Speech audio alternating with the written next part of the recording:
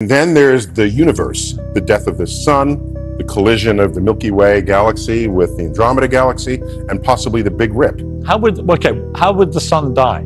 Oh, the sun, oh, like any star, it will run out of fuel in its core, and it starts changing. It starts bloating and getting so large that it will engulf the orbit of Mercury and Venus and come very close to Earth. So imagine looking on the horizon and sunrise is half the sky.